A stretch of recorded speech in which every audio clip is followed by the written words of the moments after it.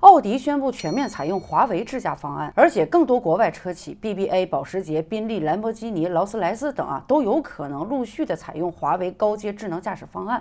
坦白说啊，这个消息呢，在当下我们国内某些车企窝里斗的时间点看到，让我是五味杂陈的。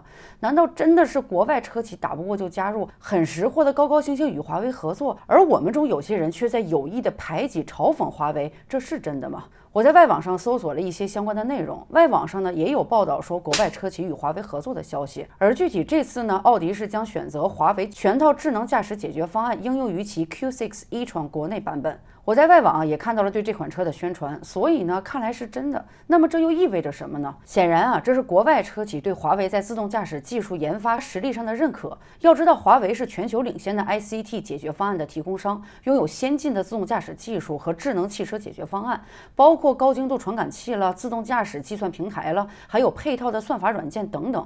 有人可能会说，国外车企还是奥迪呀，真的对我们中国的技术这么认可吗？我给大家看看我在外网看到的介绍奥迪 Q6 e-tron 这款车下面的一个热门评论吧，哈哈，不要啊，奥迪在电动汽车的发展上远远落后于中国了。虽然这是一个外国网友随口说出的话，但越是随口说的越是真心话呀，这难道不说明问题吗？事实上，尽管欧美不断打压，也按不住我们中国新能源汽车在全球发展迅猛的势头。所以那些说奥迪怎么会用华为技术的人应该服气吧，他们是真的想合作，因为对奥迪来说呢，这也是自身智能化转型战略的重要组成部分，而且现在。新能源汽车及高级别的自动驾驶技术啊，已经逐渐的成为市场竞争力的关键了。奥迪与华为的深度合作呢，是有助于提升它的电动车系列在中国市场的竞争力的。有人说，未来搭载着华为智驾的汽车能在美国销售吗？这个问题问得很有意思。怎么说说呢？目前只能说是未知之数，但是有这种可能。虽然美国的打压是显而易见的，人家本来也没背着人，对吧？但是华为的实力也是全世界有目共睹的。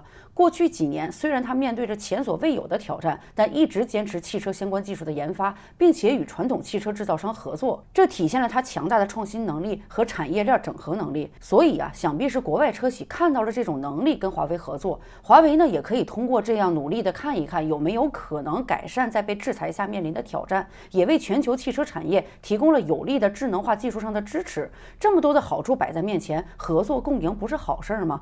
现在就先说现在的，总要走出这一步吧，未来才有可能突破制裁。真正给华为更广阔的空间吧。所以呢，我认为未来是未知的，但也是可期的。说到这儿啊，我知道有些朋友可能想提一下国内的某些车企，心情我也理解。怎么说呢？我们希望看到我们的企业都能发展的好，百花齐放，良性竞争。但我们不希望看到我们内部企业间任何恶意的竞争或者打压。当然，我没有什么证据啊，只是因为近段时间我在网上看到了太多对华为批评或者讽刺的声音，一有人提到华为，就有人说反对的意见。但我想。很多人跟我一样，只是想支持一直坚持自主研发的民族企业。往大了说，华为强了，不只是我们自己的科技强，也是为我们乃至全球消费者带来更加安全、便捷和智能的用户体验。那些只知道批评的人，是不是该有点格局？那些说华为道德绑架的人，能不能看看理据，看看华为的真正实力，再拿情怀说事儿，走自己的路，不受外界的干扰，坚持自研，不懈努力。华为是民族之光，这点毋庸置疑。